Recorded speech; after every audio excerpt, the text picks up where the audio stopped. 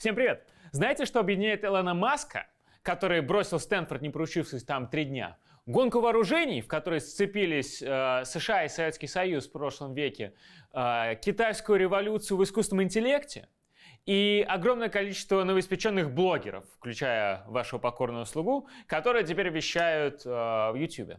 Сейчас расскажу.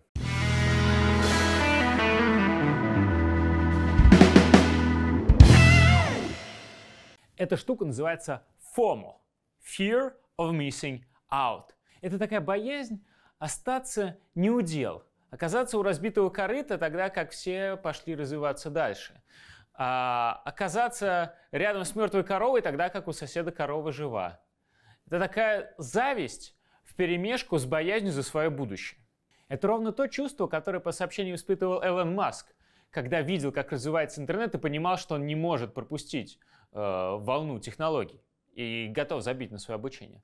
Это то, о чем думали супердержавы, э, Советский Союз и Америка, когда они видели, как э, соперник растит технолгии и понимали, что они тоже должны это делать. Это ровно то, что почувствовали миллионы и миллиарды, наверное, даже китайцев, когда э, AlphaGo обыграла их чемпиона по э, игре в Go э, практически в сухую.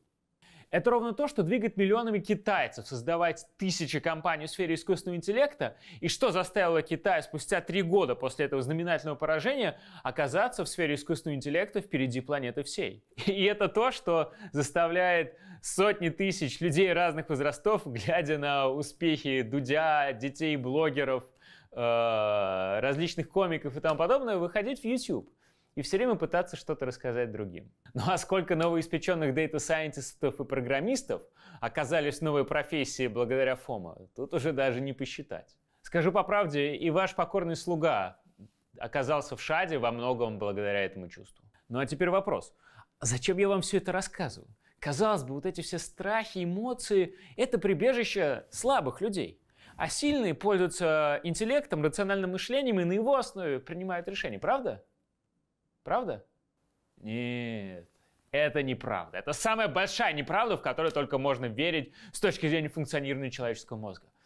Мы с вами, друзья мои, как и все люди, патологически нерациональные существа. И если мы смотрим на себя и думаем, о, какие мы классные, какие мы рациональные, значит, мы копаем не слишком глубоко. Значит, мы просто не видим, что на самом деле руководит нашими действиями. Я не хочу сказать, что рациональное мышление в принципе не работает. Нет, оно играет огромную роль. Но часто в принятии решений есть и подводные течения, которые э, направляют нас в одном направлении, а не в другом.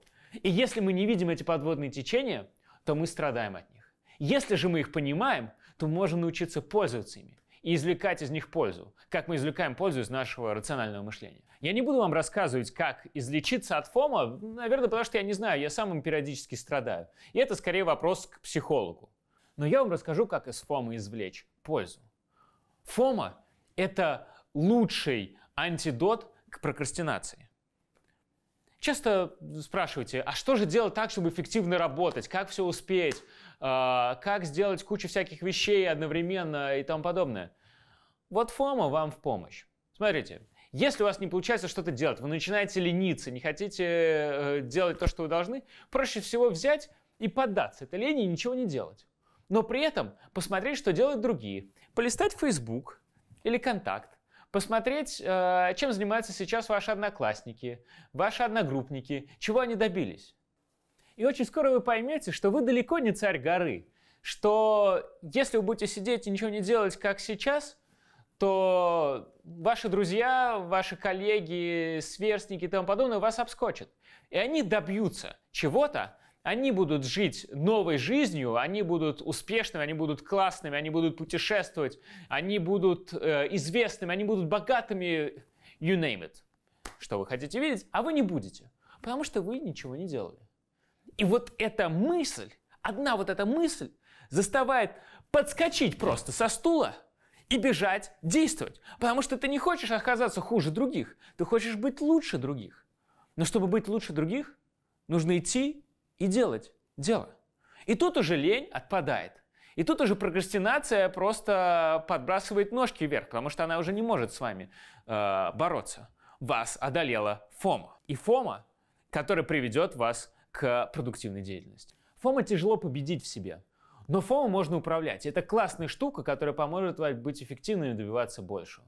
Поэтому пользуйтесь своей иррациональностью, вместо того, чтобы отрицать ее, и добивайтесь новых высот. Расскажите в комментариях, что вы думаете по поводу ФОМа. Испытываете ли вы его? Если испытываете, помогает ли оно вам? Приходится ли вам с ним бороться или наоборот оно помогает быть эффективными? Ну и, конечно, лучший способ одолеть ФОМа – это подписаться на наш канал. Ставьте лайки, подписывайтесь. И до следующего раза, пока поезд не уехал. Счастливо!